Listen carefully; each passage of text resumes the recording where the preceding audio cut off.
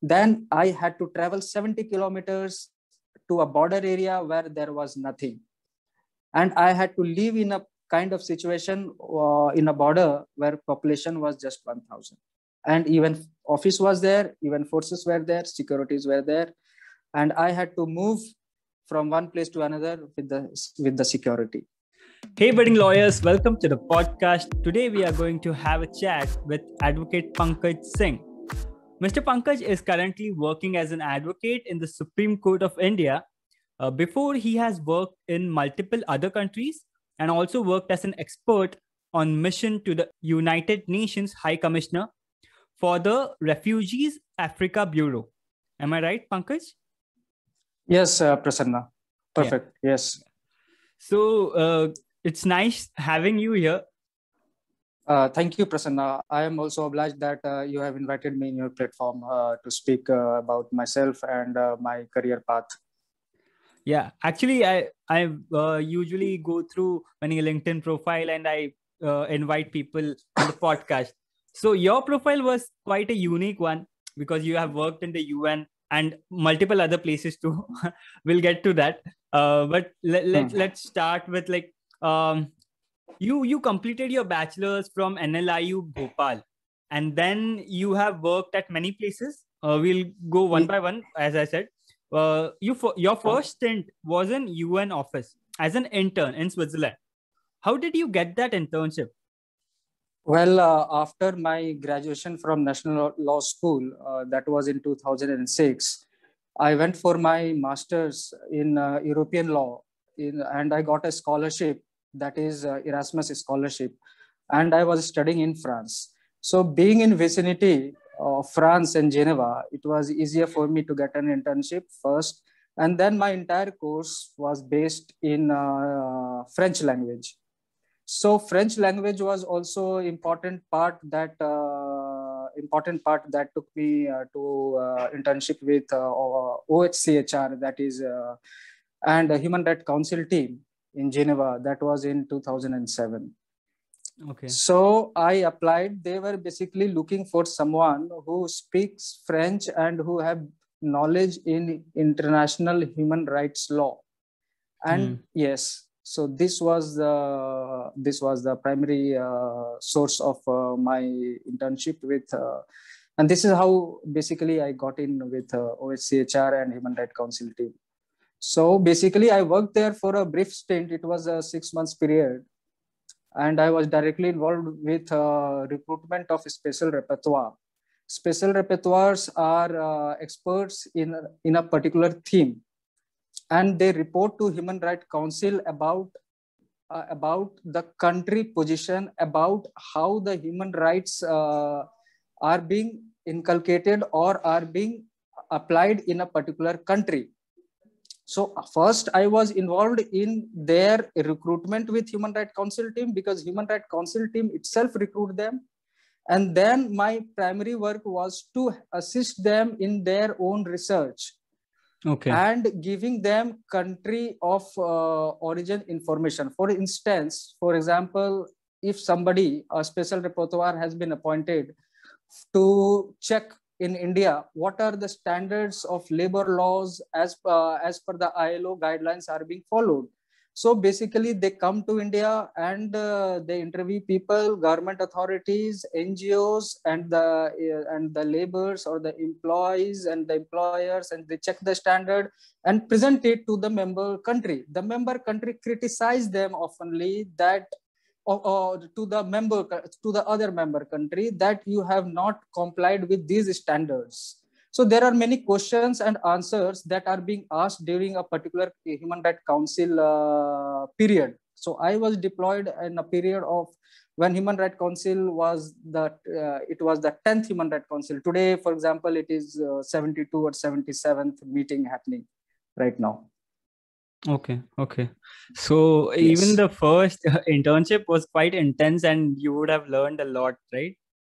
Yes, in UN system, uh, even the interns are being uh, treated at par with the regular employee because, for example, if somebody works for six months, it is qualified as one month of uh, work experience. So internships are very competitive first, and then getting into the system is very tough and then when you work for six months it accumulates uh, for you as a work experience for one month in the UN system. This is how UN system functions. Hmm, hmm, hmm. so working in an international organization like un it's like a dream come true for many students. So can any law student apply uh, for an internship there uh, in any un office?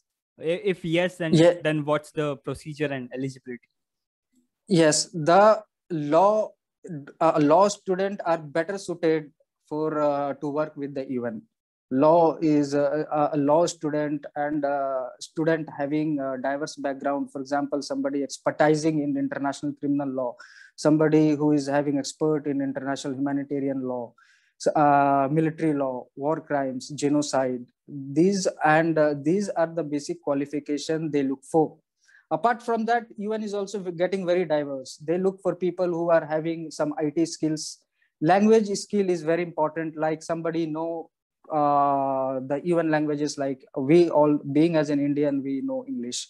So somebody who is well versed and able to communicate in uh, other official languages like french and spanish and arabic right. So hmm. and but my suggestion to the prospective uh, people who want to apply for uh, an internship or even for the work with un is to apply for country position. Like somebody who is in india they should apply for un bodies or un agencies. There is a difference between un bodies un agencies and un funds. Like unicef is a un fund. United nations high commission for refugees is an un agency so people can apply to these agencies and funds and bodies. So there is a pro, uh, proper format. For example, we cannot send them our regular CV. There is a CV known as P11 and whenever hmm. they advertise they have a cv called as p11 you have to apply and write your credential in their p11 that basically checks your competency the competency they check is ability to work with diverse cultural diversity ability to work with uh, in a in a diverse field ability to work under pressure ability to take a decision without uh, uh, without seeking advices from your seniors. So these are the competency level they check. For example you have to write for instance a special instance that you have taken in your career it may be from uh, it can be in a micro level or a macro level. Then what was the special task that was assigned to you? What actually you did that comes under action? And what was the result? So this is how you have to write. And that too you have to write in a very short uh, characters. For example uh, 100 characters or 200 characters you have to demonstrate. This basically checks your credibility. If you at all have worked or you are just uh, bluffing without boasting yourself. So a lot of people miss these points and then you have to write a letter of motivation. Letter of motivation is also part of that application. And you have to write again in very less characters. For example 500 characters. Why i want to work with unhcr so UNHCR is a refugee agency. Do I have any connection with the refugees or illegal immigrants or the migrants? Have i worked anywhere? I have to think and then i have to write what i have done what action i have done what was the task that was assigned and what was the result. The result may be good or the result may be bad. So this is how i need to draft my cv and then the internal interview process start. Interview in the interview process there is nothing wrong and there is nothing right. Marks are given as per the star format. That is what was the work uh, assigned that is that is and what was the task uh, situation. S means situation t means task a for action r for result. So all there are five questions asked. Why you want to do uh, internship or why you are uh, fit for the candidate? Then they will ask situation based questions so you can be right you can be wrong. But depending upon your competency for example you are applying for a associate level or very junior associate you will have a different competency. So you have to give a particular kind of situation in the interview. And then if you are applying for a or if you have been shortlisted for a higher position then you need to uh, cite some good examples for example, uh, if you are a manager, you cannot uh, write very um, uh, uh small uh, things like uh, I. And then they also check how good is, is your communication. The communications involve everything like strategic communication, strategic negotiation, and yeah, these are the communication skills they see. So this is how one should draft their CV and a letter of motivation and prepare themselves for the interview. I have coached many people even uh, my co-colleagues who are applying for some international positions or diplomatic positions. So yeah so this is how it should be. That's that's quite a thing. I mean i agree. I mean uh, an international organization like united nations will be having such kind of uh, intense procedure even uh, while hiring interns. That's quite expected. But uh, it's worth a while. I mean uh, if one has to work in such prestigious organizations, one can expect such things and they must prepare themselves uh, before applying and build that competency and apply there. Yeah. Yeah, I, I just want to add a lot of people. I get queries from people that they are being disheartened uh, applying for UN agencies and even bodies, UN system for a long time. They send 1,000 applications, but they never respond. Yes, even will never respond because unless and until you fit their criteria, and they just look for keywords the keywords for example if i am applying for associate position in UNHCR office, I need to write these competencies in a particular keyword because they are being searched through a system algorithm. Once they are shortlisted, then only the manager will, the HR manager will look into your CV. So unless mm. until you write very specific keywords, it will be very difficult for you to be shortlisted by the algorithm. Okay, yeah, this is something new, maybe for many listeners so what happens is uh, nowadays, as you apply in law firms and other positions in India, uh, you, you the CV usually goes to the HR or the uh, team which looks after applications and all.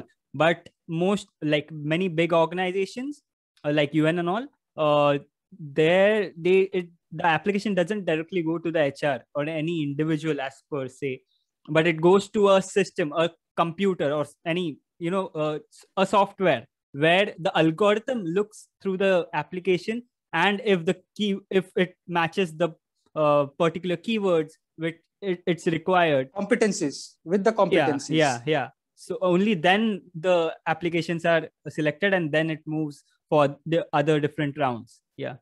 Yeah then only the human intervention comes and then if for example there are 100 cvs so they will look for the most uh, the best cv that is suited.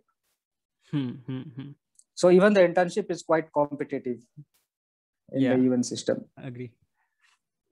Okay, so now um, let's let's talk about the International Criminal Tribu- Tribunal. Uh, for a few months, you have worked there in the ICT uh, for Rwanda and yes, yes, I worked with ICTY International Criminal Tribunal for ex uh, Yugoslavia and uh, Rwanda. Rwanda yeah, it is uh, situated in uh, Hague. The mandate terminated in 2012, I believe.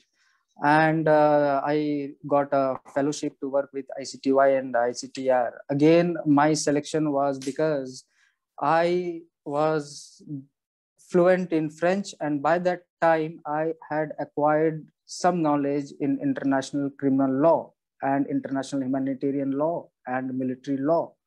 So I remember that uh, at that time, uh, basically the tribunal is set to prosecute uh, to prosecute uh, people. I would say arm, army generals and people in high commands in uh, Rwanda and Yugoslavia for their crimes committed in 1990s in uh, Bosnia, Serbia, and Herzegovina, and also in Rwanda. I remember and I can recall distinctly that I was engaged in a matter the, that involved one uh, military general and he was also a founding member of a Serbian Democratic Party and his name was Radovan Karadzic.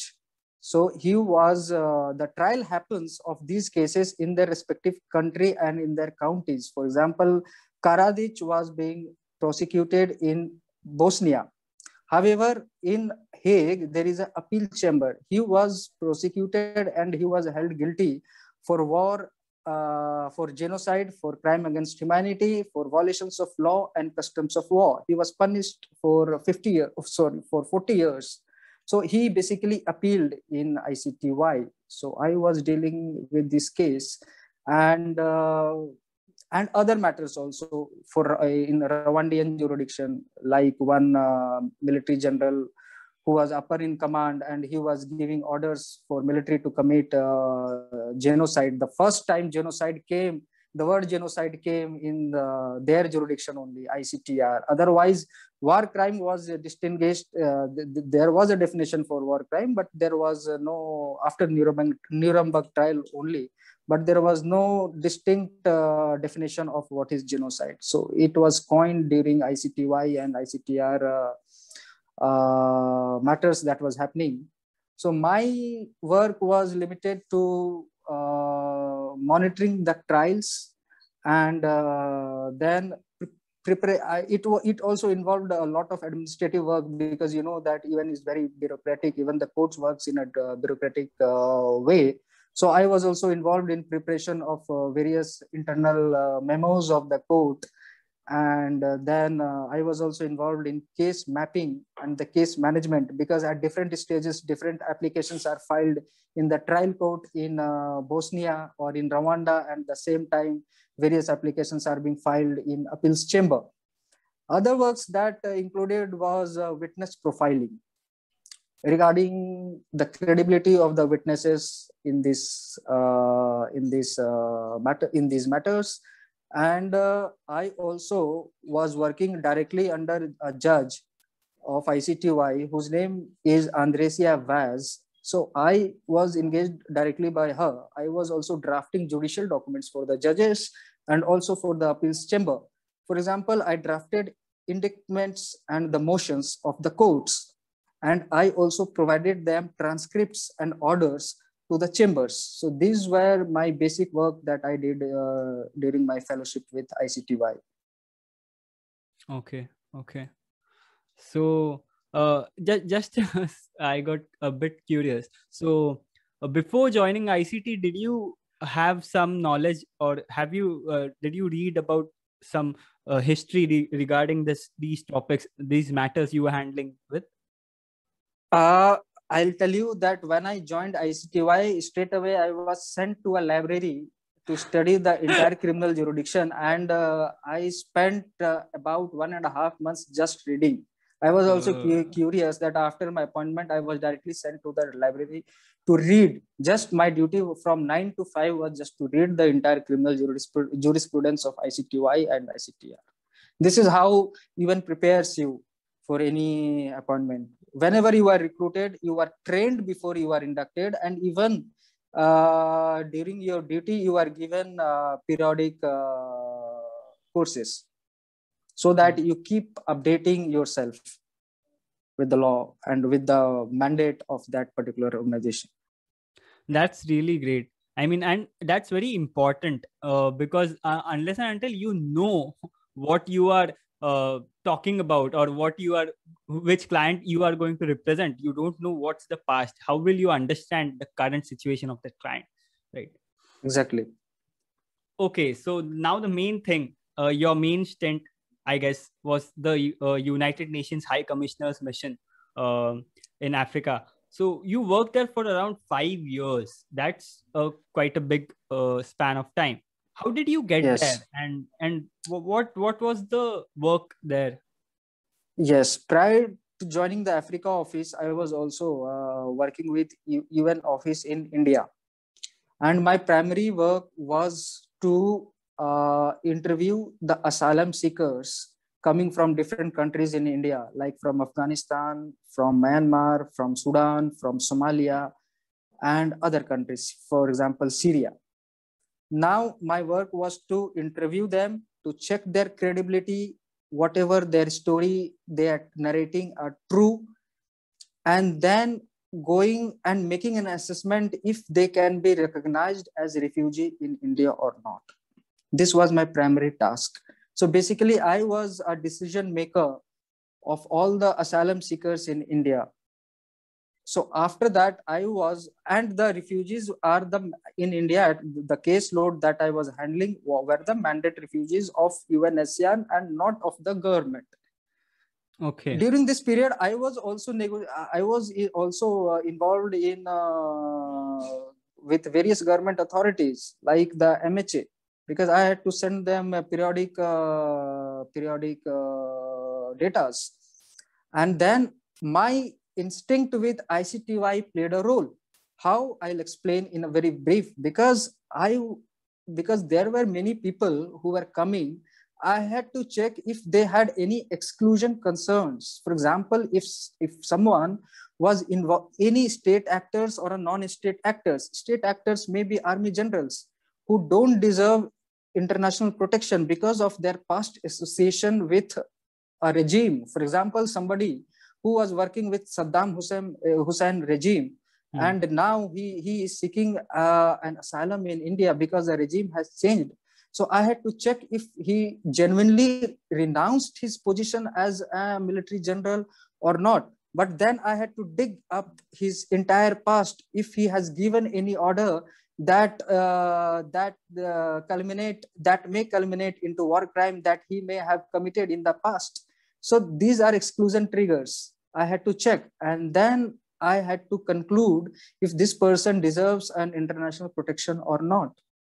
So this was my primary work in India. Thereafter, I was uh, with uh, UN in the Africa. My job was to resettle them. Now refugees were living, recognized by the government, they were living in a protracted kind of situation in refugee camp for 20 years. Hmm. Now there is a provision for resettling them to a country like USA, like Canada and European countries for their better uh, chances of their living. Right so now I was working with a caseload that comprises of Congolese refugees who were living in refugee camps in Africa for 20 years, Congolese and Burundians. So my work and my task was uh, limited to resettling them according to there are some classification also even even after living for 20 years whether they deserve to be resettled Hmm. Right. Hmm, hmm. So then I was uh, making an assessment. I was interviewing them. I was checking their credibility. Again, I was checking exclusion triggers if they were involved because they participate because they were involved in some war engagement with their with the militias in uh, in their respective country so if they were trained in using arms if they were trained in uh, using uh, where they whether they were the part of the local militia whether they were forced to join the military whether they have worked with the military.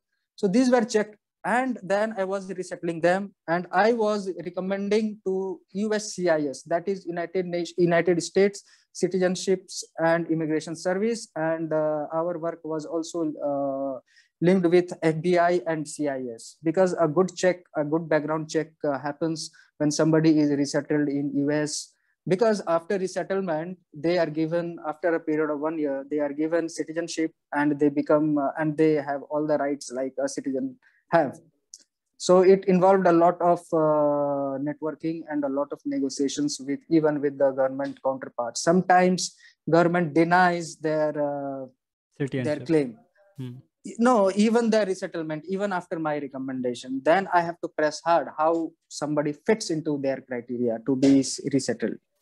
And then there are many bogus claims also. So i had to check if they, they the claims are uh, are suitable and they are credible or not.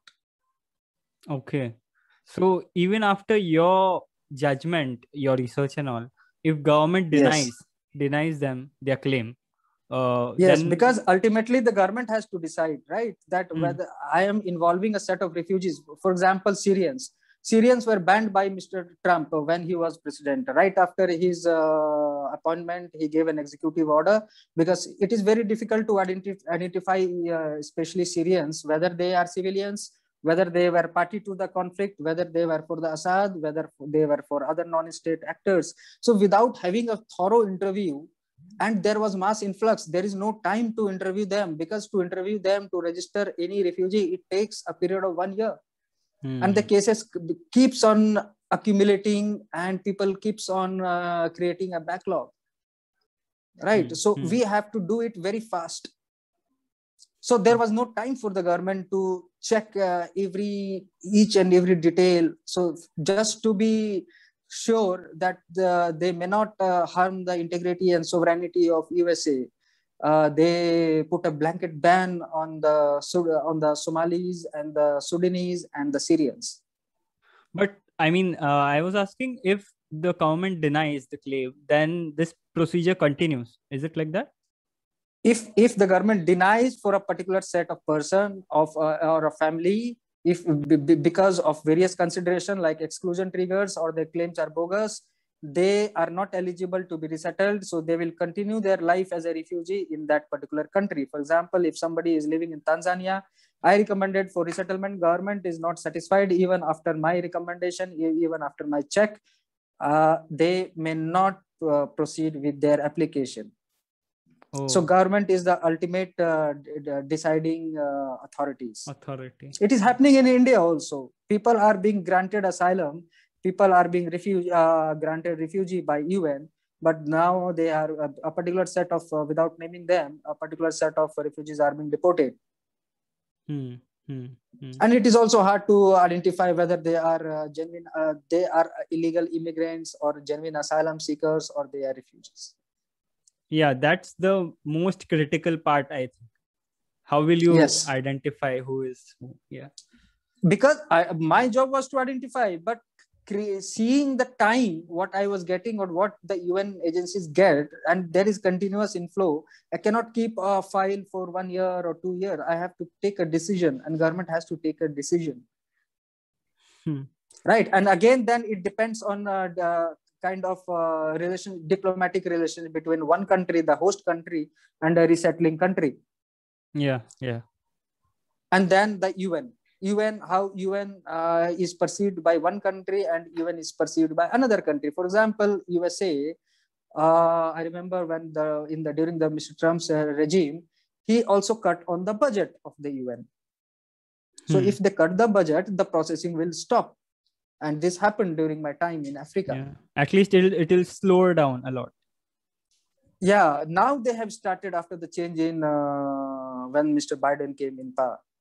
So now the process has started. Otherwise, there was, uh, for example, one lakh admissions was happening in America uh, before Mr. Trump. So four years, it was only happening 30,000 a year. Now it has uh, started. Okay. So after listening to you, all these things, I'm sure the uh, the work you have done in these organizations was challenging and all, but it was equally interesting. So how was your overall experience if you want to sum it up collectively and what would be the few important things you have learned so far well uh, my uh, conclusion will be to everyone if they get a chance should work with un because uh, when you work with the un you know how to take a decision you become a problem solver you have to solve uh, you have to take a decision in a fraction of seconds without going to your seniors, without taking advices. Even though UN is very bureaucratic, you cannot move without taking, um, without approval of your seniors. But you are in a position, you are given, you are being given a complete uh, uh, authority to take a decision and uh, you have to work in a diverse kind of situation. So now and you know how to deal with a different set of people at a different point of time. You know how to strategically negotiate. You know how to strategically communicate with different counterparts with ngos with refugees with clients with the government authorities so this also assists uh, this is uh, understanding and this behavior uh, competency also assist uh, or also may assist any advocate practicing in different forums because you meet different people and uh, hmm. you have to different people you you may assist a client who is a farmer and then you may uh, be uh, dealing with a cbi officer and then you are also uh, dealing with uh, corporate clients. So you know what to talk and what not to talk how to communicate. This assist uh, this this may assist many advocates and lawyers how in the client counseling. And also drafting. Also for example in drafting i have written several narratives. So now i know how to write a draft very precisely without using legal terms, not to be judgmental when you, we write the facts, hmm. right? And then when it comes to argument part, we know what to write and what not to write. We basically understand what the anticipate what the other party is looking for in our draft, in our argument. Why not to hide it and keep it for the argument? Why to completely demonstrate what I want to uh, argue in the court and uh, give a preparation time for the other party? So mm. these are the learnings what I have uh, I have accumulated, and uh, this is assisting me in my practice, and this may also assist other advocates. So, uh, if you were you also t- took many efforts you were competent also one may say you were quite lucky to uh, get into the organization but if people who have who didn't get a chance to intern in such an organization can they apply for a job there? Yes certainly. Un is very diverse. They are recruiting IT people. People are who are expertise in information and technology. People are uh, they are hiring mbas the people are uh, they are being hired uh, who are uh, who have expertise in project uh, management. Right so they, they are looking for diverse uh, work skills. So everyone should always strive to gain experience in different field not to just limit. For example if somebody has interest in human right law it is it, it, may not be a good idea or it may not fit to their competency level because there may be one candidate who know also project finance who, who is and who is more capable and he speaks two or three different languages and he is also know he, he also know uh, project management so he hmm. will be the most preferred candidate because in different situation in different country or operation you have to the, the, you have to shift your roles also in UN in on, right. in a particular kind of situation, you have to adapt to different roles. Somebody someday you will work in headquarters, sitting in your office. Someday you you will be sent to the mission in the border border right. area. Hmm. So there is a change in the skill or switchover of the skills so the more skill you have the more uh, chances are there for your recruitment. This is how you should demonstrate in your uh, interviews in your uh, cv in your letter of motivation that i am capable enough to switch my skills in a different kind of situation. And i have already done it in the past so there is a reasonable likelihood that if a similar situation arises in future i may do it. This is what even looks hmm. and there are applications. Every day there, there are recruitment happening. You just need and you just keep on applying. Hmm, hmm, hmm. keeping all these factors in mind. Also i think if you are if you think that you are not competent enough even after completing your graduation like llb llm you can apply for an internship there. Go intern yes, there learn uh, there and then you yes. can consider uh, yes. for a job understanding understanding the diversity how un work is a primary thing for example if i get an internship in any un body in new delhi i'll take it because i'll get to know how people work because mm. you will be you will be working under uh, your boss and your boss will be a foreigner he will have a different mindset how he want to do uh, how he want a work to be done and there will be instructions also you have to be a very good listener. Because what i have observed many young people who come and join uh, any profession they are not good listener be it a law firm or and they boast that you, have, for example somebody working in a law firm. Somebody boast that i have been working as an associate in a particular law firm and i have been given this work. But see how to have a career grow see how come you are how you are uh, listening to your uh, supervisor, your manager. Are you following the instructions or you are doing your own work? So when you do your own work, the own work, there are chances that you may do it incorrectly, hmm. right? Hmm. So for for first few years, you have to follow the system. You have to understand the system, how the system works, how to communicate effectively, even working in a law firm, working in a corporate body, because you will be working under a manager, you will be uh, working under a supervisor, you have to listen to their commands. Right. Right. This is how UN teaches teaches you. So I think that anybody working in an UN system is suitable to work in any corporate body. Hmm. Great. Uh, over to our last question, Pankaj. So please share an incident from your career which is very memorable to you. My career uh, very memorable was uh, when I was uh, shortlisted uh, and I was selected uh, for an UN uh, duty station in Africa. I was getting course, all the yeah. privileges. I was getting all the privileges like all international diplomats get. I was overwhelmed and I thought that this is my um, starting point in my career and uh, do, do you remember your first day at work and would you like to share that first day of work uh, yes i traveled uh, from india to tanzania and mm-hmm. then i was there in a hotel for 7 days i was given the entire training the training also included how to negotiate with non-state actors because those areas are infected by uh, bandits, by non-state actors, by militias. Suppose you are traveling in a mission alone and you are being caught by uh, non-state actors, how you will negotiate and how you will uh, prevent a situation like abduction.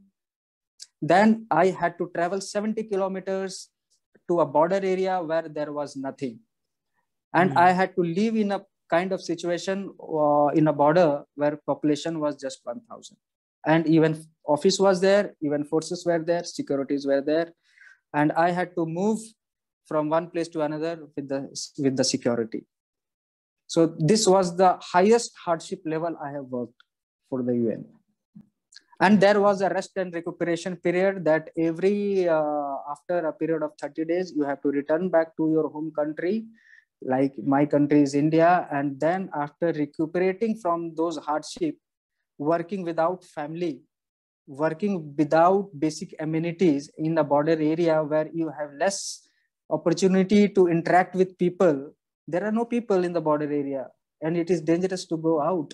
And mm. then you need some uh, uh, time to replenish yourself and your energy to come back and then you go. Right just imagining whatever you said the situation you have been into uh, kind of uh, will bring goosebumps to people. But yeah those are some exciting i mean uh, re- really memorable experiences you had had. Thanks pankaj yes. for this informative conversation and sharing your experience with us. Thank you prasanna and uh, i'm highly obliged that uh, you have given me a chance to speak uh, my heart out Sure, uh, I would love to have you again on this show uh, after you know few maybe hundred episodes or something like that, fifty or hundred episodes. Let's plan for something yeah. like that. Yeah, yeah, sure, of course. Okay, and thank you so much for listening to this podcast. If you like this episode, then please, please, please share this episode with your friends, your colleagues, your college friends and we are available all other podcast platforms and also on youtube and do check out our videos on youtube too thank you Thank you.